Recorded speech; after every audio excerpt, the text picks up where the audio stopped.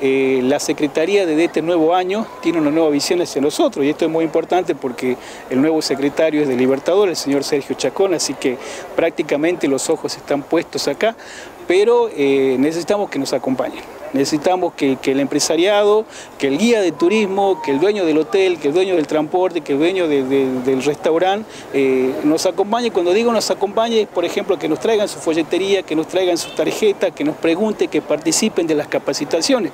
Por ejemplo, ahora el 5 de julio, junto con el INTA-YUTO, estamos largando un curso de manufacturación de frutas tropicales.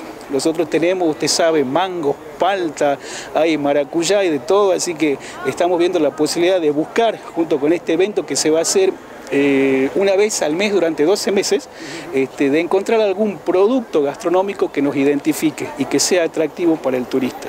Eso sería el 5 de julio, estamos viendo el, el lugar, y el 6 y el 7 tenemos un curso para Mucama.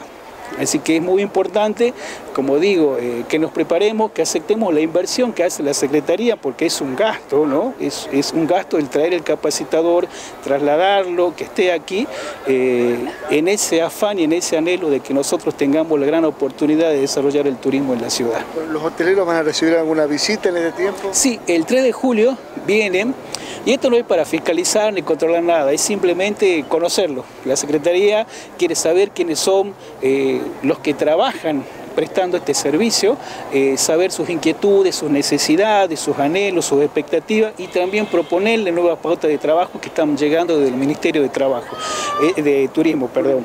Este, en ese sentido, la idea es darles promoción incluirlo dentro de la cartilla de, promoción que tiene la Secretaría, o sea, salir en la página web, salir en la folletería. Así que el, 3 de julio estaremos con Sandra Olmos y la gente de fiscalización, pero no para controlar nada, digamos, afín al funcionamiento, sino para conocerlo. La Secretaría quiere tener un mayor acercamiento del lado humano, digamos, con el dueño, con el emprendedor. Así que estaremos visitando a los hoteleros y bueno, espero que nos recepcionen. Correcto. Eh, ¿La temporada oficialmente se larga? Sí, estamos esperando que el secretario dentro de su agenda, pero eh, estamos ya, creo que va a ser el 10 de julio.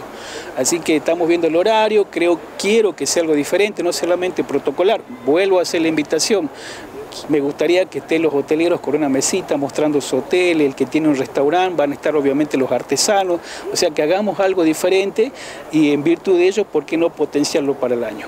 Eh, también tenemos el primero de agosto, la Pachamama, la plaza, como lo llamo, también tiene el apoyo de la Secretaría de Turismo y del Ministerio, así que bueno, dentro de todo una, unas carteras de trabajo bastante prolongadas, pero siempre con esa meta y ese entusiasmo de poder este, desarrollar el turismo, que es la tarea que nos han asignado.